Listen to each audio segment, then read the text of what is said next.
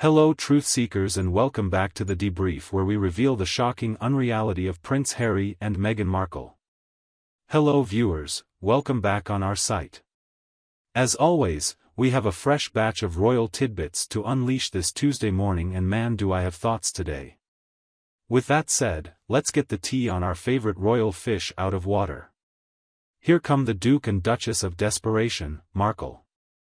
Drone Nation here for your sentiment I am now aware, Chrissy Teigen and John Legend, do we not already have enough blog post about this couples? Apparently not, as they keep giving us more stuff to read. But first, before we dive into the turbulent truths, make sure you have that subscribe button and notifications turned on. Don't miss the exciting content we have prepared for you. Now, here's the scoop. Here it is, the old harsh reality of Hollywood finally hitting our dynamic duo. So long overdue so allow me to tell you let's backtrack a bit. Harry and Meghan or when royalty said goodbye went to California for good? They were going to get a warm welcome, right? They saw the red carpets, the A-listers hanging off their arms and legendary Hollywood execs calling with opportunities.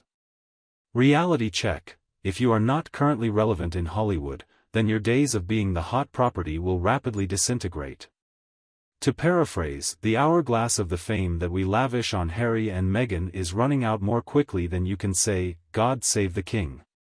This is the point Karen, I mean, our dear Sussexes are missing, Hollywood only responds to what's hot. Now, they are about as hot, as the typical British summer, which this writer will have you know is colder than a penguin's native environment. Let's analyze, shall we? What defines Harry and Meghan is what makes them unique in the looking for money stakes. Harry is renowned because of the blood that runs in him.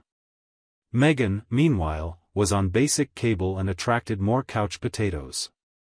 They aren't exactly setting the world on fire, though. Harry and Meghan were convinced their royal connections plus a sob story would ensure they remain Hollywood royalty forevermore. But top Hollywood talent, their traditional bedfellows in the entertainment community, have pulled no punches is disassociating themselves from Epstein. Even candle aficionado, Gwyneth Paltrow is kicking dirt on the couple from 15 feet away. If even Goop won't take you on, that's a bad sign. Taking to Instagram recently, Gwyneth made a small but telling gesture that indicates the balance of power among stars is starting shift. Also, the only person Harry was on good terms with is David Beckham that switched sides and stood firmly in royal family's camp hence it has made Meghan isolated as well.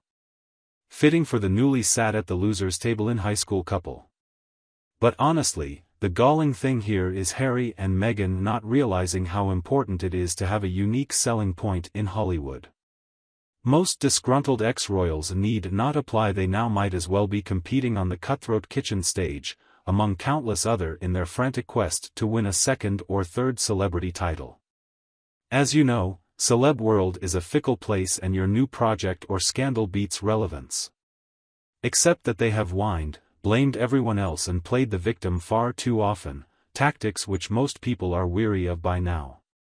Hollywood could really care less about the fact that millions of men suffer on a day-to-day -day basis, well, unless it is going to be made into some movie. The Harry and Meghan story sounded too familiar for comfort. We take a tour of their Hollywood tie-ins. Royal expert Hilary Fordwich was right in calling them fake friends. This is just how relationships in Tinseltown go down. It is all about mutual benefits and relevancy.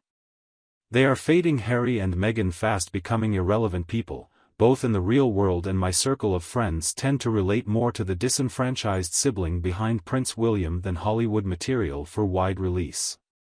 They apparently forgot the key lesson about making fans look forward, to consume more. The manner they did this in was not pretty, instead flooding the market with their great British life of tears and fears as recliner cop with Ladrathome tale. In Hollywood, loyalty is as ethereal as any fleeting facelift.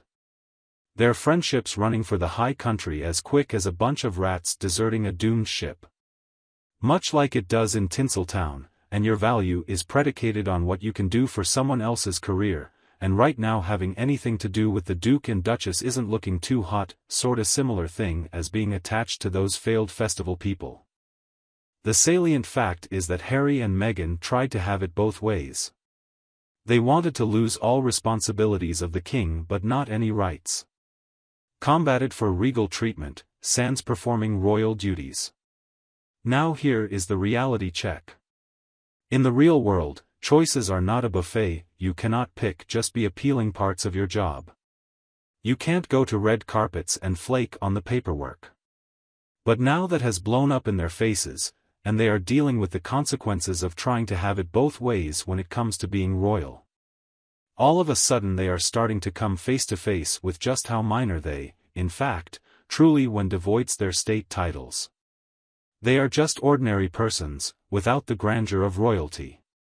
Ordinary is not an option in Hollywood.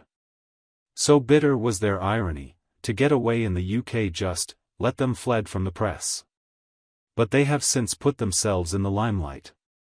Their seclusion seems ironic, as they make no attempt to avoid the limelight, with Netflix features and Oprah interviews at stake up against tell-all books. If this is their idea of privacy, you shudder to imagine what their definition of publicity may be. But for a while, the mystery remained. The royal family was like a live-action soap opera, the backstage drama eventually distracting virtually all audiences. One way this plays out in Lovecraft Country is how the show's plot has gotten pushed to some unsettling directions, but with any series there comes a time when interest starts fading if left standing still. I get the sense that Meghan's story is like a record on repeat, an endless scroll of emotional text messages you sent to a friend when your heart was broken. At first you can relate to it but soon realizing its limitations, one starts getting rather restless and desires some kind of momentum as it stagnates. So now Hollywood checks the time, well aware that Harry and Meghan have stretched out their stay. The novelty has worn off, the shake long since thinned and in an industry of constant change they are quickly becoming yesterday's news. This is the real tragedy of it all. They have disbanded, deserted, disowned, for an ephemeral moment of Hollywood limelight. The ugly reality of Hollywood that they are learning, your value is nothing but a quick deal. Today, their old narrative is boring and something I've heard too many times. They're like some non-hit wonder band holding on to the glory days, not realizing that they need a remaking. Hollywood stagnation equals death in the midst of this chaos, however, one group that deserve a thought well are their children. Whose life have come to stand still and grow up in such an eerie zone. These people are not quite royal, they're kind of celebs but their parents can't hack it so live with the non-royal side of their family. Harry and Meghan look to have got themselves in a corner, all for the sake of holding on to their pathetic pair of twos, trying to play Trump on the monarchy. While their goal was to redefine celebrity, it doesn't take long for them to realize that in Hollywood, house always wins. Well, what do these non-trad royal family members have in store next? They may, if they are wise, and that is a very big if, understand where their true value has been all these years, in proximity to royalty. It is possible they will have to take it on the chin, make amends, and shore up whatever royal dignity remains. Yet, being Harry and Meghan, they could decide to redouble their efforts in order to shine the blame on someone else for losing any of that star power. Perhaps the race card, perhaps media bias or any number of other excuses to justify their behavior. That is taken care of by them, but they have no one to blame there. Prince Harry and Meghan Markle wanted out of the royal family, they got it. Like the old adage, be careful of what you wish for. Harry and Meghan, wake up and smell the coffee. You are not on your home ground anymore, Hollywood plays by rules of its own. Your importance in Tinseltown is based solely on what you have done lately, not your royal titles or family feuds. You do not earn respect complaining about how hard your privileged life is. If you want to be, do things as if.